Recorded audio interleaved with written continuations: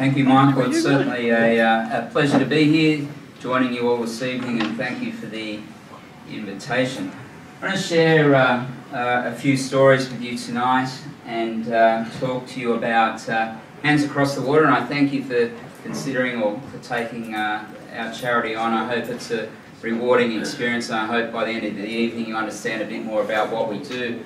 What I did want to do though is start with uh, how Hands came about. Uh, then it'll make sense as to how a forensic policeman from New South Wales ends up uh, building homes for children in Thailand. It started here, and this is um, anyone recognise this place? Where is it? Well, Thailand's a pretty obvious guess. Can we? Uh, anyone more specific? Is it Koh Phi Phi It is indeed. No wonder you're the president. You told him. I did. You know what? I landed on this beach in a helicopter and uh, I looked at this and thought this is quite stunning. This is where I've been sent to work and I thought I should take some photos because when I return home people aren't going to believe how beautiful this is. But I walked 180 degrees around the other side of the helicopter that had dropped me onto the island and this was the destruction that was on Phi Island. And this is so typical of where I've been to do the type of crisis work that I have. I could replace this with photos from Paddy's Bar or the Sari Club after the bombings in Bali because the level of destruction that we saw there was just the same. And working in these areas, we're certainly presented with unique challenges. And to meet those unique challenges, you have to have unique solutions. So what were some of the challenges that we faced? Well, what we know as a result of the Boxing Day tsunamis, there were somewhere between 250 and 300,000 people who would lose their lives. And we headed across to Thailand to do what's called disaster victim identification. We're there to identify those who have died and send them home. And in Thailand, we recovered 5,395 bodies, which was and remains the world's largest disaster victim identification attempt. Thousands bigger than 9 11, therefore thousands bigger than anything that had been seen in this space before. And the very scale of it presented a lot of unique challenges. Because when they found the bodies floating in the water or washed up on the beach, they took them to a local temple. And if you've been to a Buddhist temple, you understand when I say they have a very serene feel about them, a very sacred feel, regardless of whatever your faith is. And I arrived at this beautiful Buddhist temple called Wat Yan Yao. And I walked in through the gates, and all I could see in an area, maybe maybe 10, 15 times the size of the room we're in tonight, was the decomposing bodies of three and a half thousand people that laid on the ground. Now, as a forensic practitioner, we have to do a post-mortem on each of these people. But where do you store the bodies of three and a half thousand people while you undertake this job? Because it's something that's going to take us well over 12 months to achieve. And how do you how do you go about identifying that many bodies? And we had there was 450 uh, staff, forensic staff from around the world who arrived to assist, and they came from 36 different countries. But when something like this happens, there's no international org chart in place that says that if something happens, this is a country that will take the lead. There's nothing like that in place. It all just has to be sorted out once we arrive. And how do we meet these challenges? Well, it's about building teams and it's about leadership. And as, as Michael said, I spent the last two years that I was with New South Wales Police working on a counter-terrorism project. And in particular, I was focusing on what we call CBRN, which is chemical, biological, radiological and nuclear threats. So I spent 12 months working with Interpol in Lyon in France, sharing my thoughts and findings from the research I was doing. And then I was working with United Nations Office of Drug and Crime throughout Southeast Asia. But there was a recurring theme in this counter-terrorism space, and that is that hope is not a plan. We just can't hope that something won't happen. But there is only so much contingency planning you can do when the challenges are so unique. So how do we meet those challenges? Well, it is about leadership, and I think there's two types of leadership that exist. Mm. There's ones around positional authority, and, and you can see, look at any organisation, you can cascade down and see from the top to the bottom where everyone sits. But does that mean that the best people, the best decisions will only come from those senior positions. Because in my experience, true leaders are identified by their actions and their reactions. It's what people do, not the positions that they hold, that really makes a difference. And when the Australians turned up into Thailand, there was no conditions imposed by the Australian government upon the Thais. But once we arrived, the Australians held every key position. Every key leadership position was held by an Australian. And what was that about? What put us into those roles and why did we, why did we hold them? It had nothing to do with our experience or expertise, nothing to do with the number of bodies that we lost. As a country, we lost 25 people to the tsunami. Now the Germans lost 500, the Swedes lost 500, the Thais lost 2,500, yet the Australians were running the entire operation. There are a number of key things the Australians did. The first was, was they acted with speed. Because when there's an opportunity, the first to move so often will hold that position of leadership, and that was the Australians. The second thing they did was to deal with change and to lead with sensitivity. The third was to have a structure in place, and the fourth was to lead with simplicity. But above and beyond that, what they did was there was the importance of presence. And I think this exists in three areas. It's a leadership of the, the brand or the organisation that you lead, it's the leadership of the teams, and finally it's leadership of yourself. And after the, the 2011 earthquake and tsunami that struck the beautiful country of Japan, I was deployed over there and worked over there for, for some time, and I saw this presence uh, played out by a man by the name of Mr. Sato in the Iwate prefecture of Japan. But it's what the Australians did well that put us into those positions of leadership. So when I was working over there, one of the things that became clear for me is, is around leadership and what, what, what are the qualities of leaders? Well, for me, it's about having courage, and it's about facing adversity head on every day. I'm going to show you a photograph of 32 people who I'd suggest are leaders by any definition. You see, I met these children while I was working in Thailand. Each of them had lost their parents. Each of them had lost their homes, and many of them had lost their brothers and sisters. But they lived in this tent that you see in the background. It's a good looking tent. I grant you that, but it's still just a tent. And when I met them, this was this was in August of 2005, some seven, almost eight months on from the tsunami. It wasn't a temporary structure, this was their home. They weren't waiting for something, this was their home. I'm going to share some stories with you on this basis and this basis alone. We can't change what's happened, but we can all change what happens next.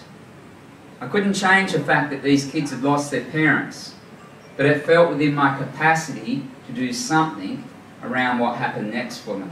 So I set up this organisation called Hands Across the Water. I was still working full time in the police. I had no idea how I was going to do it, but I thought I'll give myself 12 months and see if I can raise some money to build these kids a home. I returned to Australia and, and set about giving some talks and raising some money. 12 months after making the commitment, I was able to go back over to Thailand and open this home that I'd built for the kids. Now, it, it is a beautiful home. It's called Baan Tharn Nam Chai. The reason I was able to raise enough money to build it was because we decided to focus on the results and not the excuses. Because when you put an idea on the table, there'll be plenty of people who will sit around and tell you why it won't work, why it's someone else's responsibility, what's wrong with it, don't worry about them. You let them focus on the, the excuses. You focus on the results. Because be sure of one thing if we do nothing, well, nothing will change. So I built this home and all of the kids moved in. But it was 12 months later and the numbers had doubled. They'd gone from 32 to 64. We had the girls who were sleeping three to a bed. The boys were sleeping on the floor. This is 12 months on after we've opened it. So it's a couple of years now from the tsunami, but the children continued to come. Why was that happening? Why was it happening? The word spread. But where were they? Well, where were they living before coming here? Anywhere they could lay down. See, what happens, it doesn't matter where I've worked, whether it be I worked in Saudi Arabia after the floods in Jeddah at the request of the government of, of the Kingdom of Saudi Arabia. I worked in, in Japan, Indonesia, Thailand, Australia. What happens after a disaster? And you would know that from the, the floods in, in Brisbane and the cyclone up north. Lots of people turn up to help, don't they? They put their flag in the ground and they say, We're here. It might be corporate, might be government, might be NGOs and charities, but six months on, too many of them pack up and leave. And what message does that send to the community when they pack up and leave? It. no. It says you're on your own.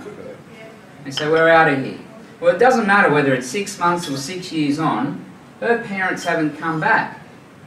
And of course, they never will. Just because there's another disaster, another crisis somewhere around the world, doesn't mean that these kids don't need help. And of course, they always will. So I built them another home, and this one's located right next door to the first one. You can see the first one in the back right hand corner there. Now, I opened this one in 2000 and, um, 2011. No, 2009 I opened this one and we moved all the girls into this and, and it is a beautiful home and, and a few weeks ago I returned from opening this home which is a new one and there's that Catholic nun in the, in the foreground there that you were, you were speaking about. Where's bag. she was delivering lunch. This is a beautiful home that we've just opened at a place called Siren, and I'll share that with you a, a little bit more a bit later on about Siren. But this is what they look like inside. They're full of colour and light, and thanks to the staff we have there, they're, they're, they're full of love, and just as any home should be. Now, the Chinese have a proverb, and the proverb goes like this If you want to plan for a year, you sow rice. If you want to plan for a decade, you plant trees. If you want to plan for a lifetime, or best educate people. So I built this centre and opened it in 2011. It cost 1.4 million Australian dollars to build, and it's in a place called uh, Ban Nam Khem, the worst affected area from the tsunami in all of Thailand. Why I built this was to provide care for those in the community. See, this community lost two and a half thousand people. The, the, the, the family structure, the family network was torn apart up there. And what that did was it created all these knock on effects because the Thais rely upon extended families. And it is a beautiful thing to see. But when you take away that extended family, then you create needs for things like that we take for granted, like childcare areas. And many of you, I'm sure, provide great assistance to your your children in looking after their children. Well, when they're taken away, when the grandparents are gone, who looks after the kids? They didn't have childcare centres, so we built this, and it's a childcare centre, provides medical care, dental care, and vocational training for that community to give them another source of income. Now, it's a unique building. The, the, the uh, design of it, you see the roof at the very back there is built at a height of 17 metres above ground level. It has been engineered to hold 1,000 people standing on the roof at any one time. What is it? A tsunami refuge area. Because it's no good saying to the members of this community what you went through was a 1 in 200 year event. Because they do worry. You can't tell them not to worry. But now, this gives them a degree of peace of mind. Those of you who have little boys in your life, you'll know, and I'm assuming not many of them are your children, they might be grandchildren if they're this young, that you know that little boys love to run fast, little boys love to run real fast, and the appropriateness of the location is often lost on them. Well, this little superhero here was in the, in the race of his life. Or to be more accurate, it was a race for his life. He held the hand of his grandfather, and they ran from that wall of water that was the tsunami. 50 metres in front of them was a building. If they could get to that building, that gave them the best chance of survival. Run as fast as they could, though, they were never going to be able to outrun that wall of water. They got to a tree. Granddad climbed the tree and he dragged this little superhero up to the top of the tree with him. They got to the top, they were both cut, they were bleeding, and they had abrasions all over them.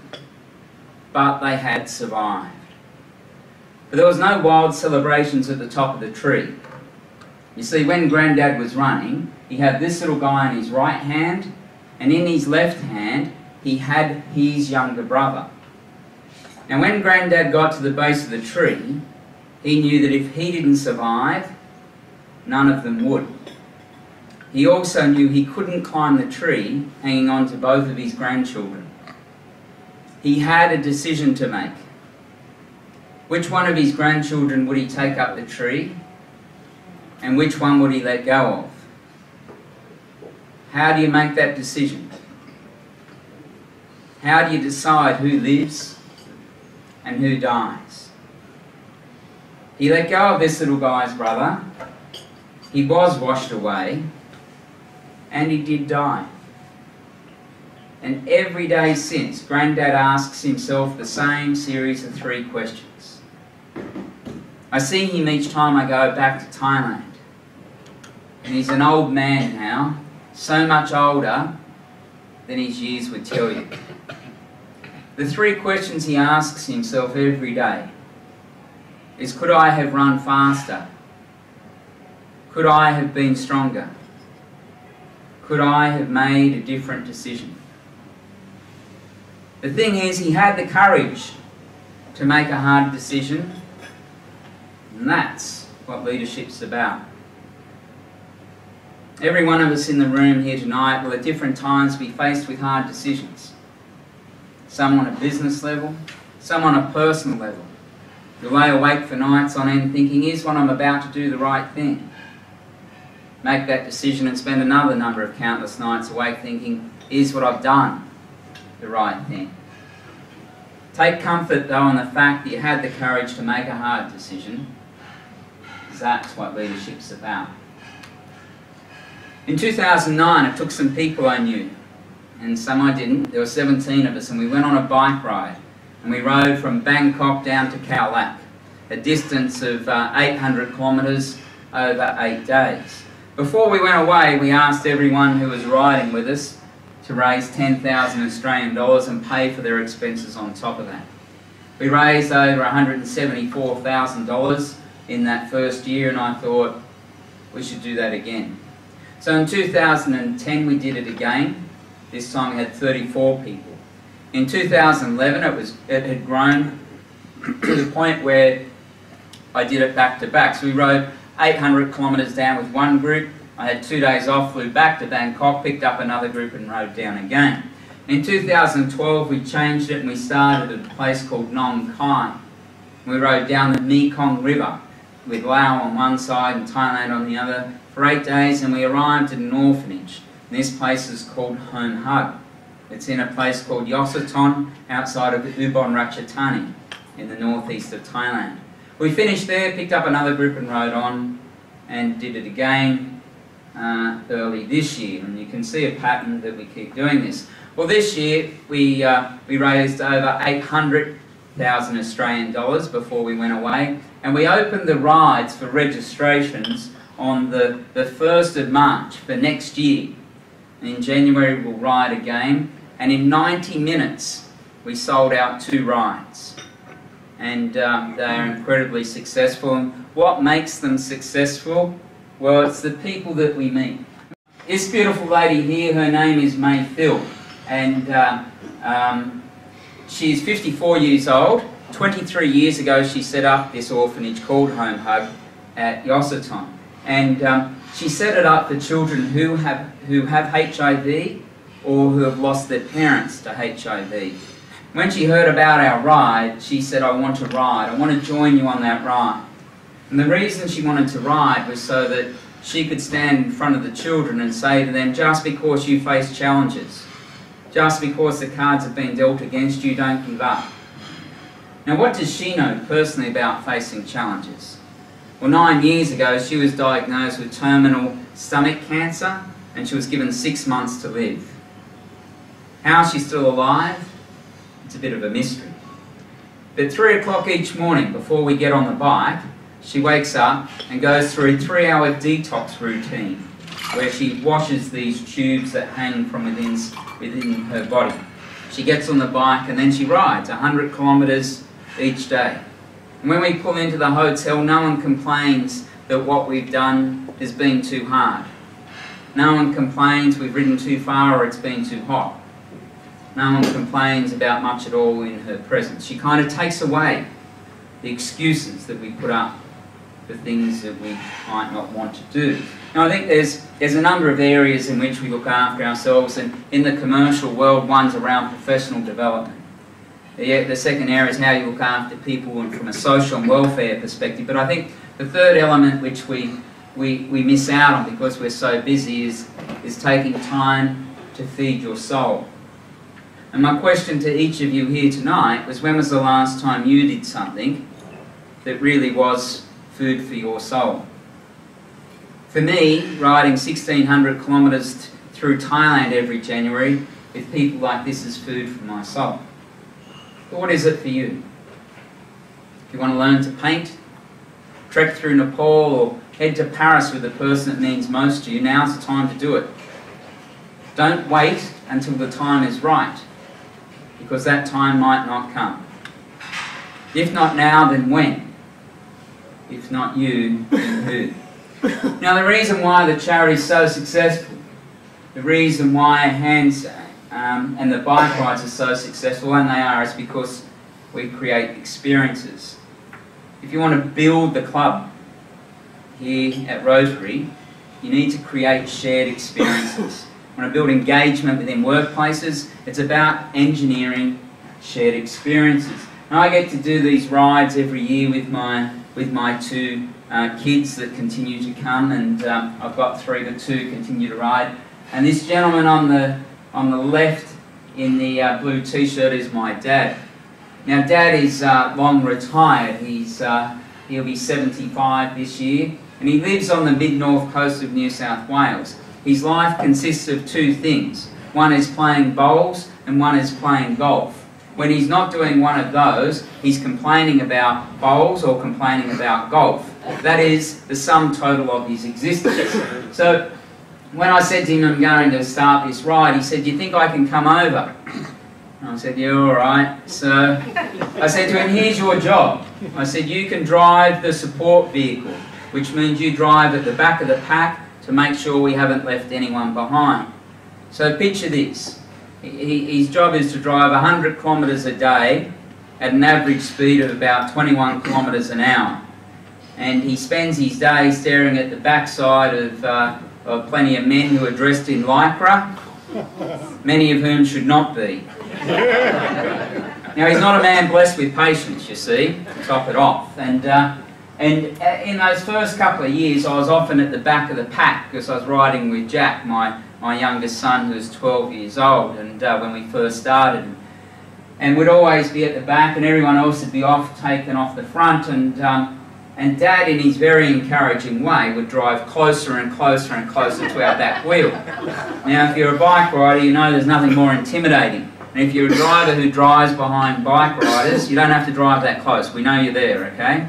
Now, I said to Dad, I thought he doesn't understand how intimidating this is. So he pulled in at the first water stop and I said, Dad, I said, here's the thing. I said, I'm really worried that you're going to run over one of us. If we fall off our bike, you'll run us over before you know what's happened. I said, can you just give us a little bit more room? He said, sure, not a problem, not a problem.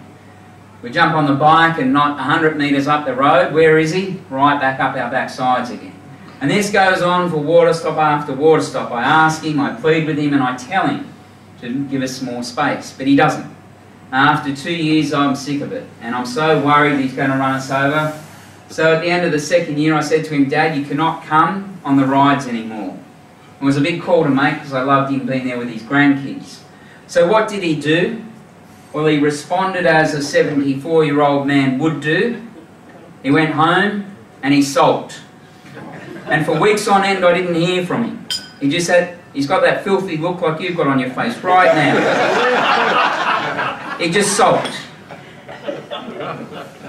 Then in April, we open up the bike rides for registration and he rings me and he said, I bought myself a bike. So at the age of 74, he took up bike riding. And he started these little, little loops around Southwest Rocks.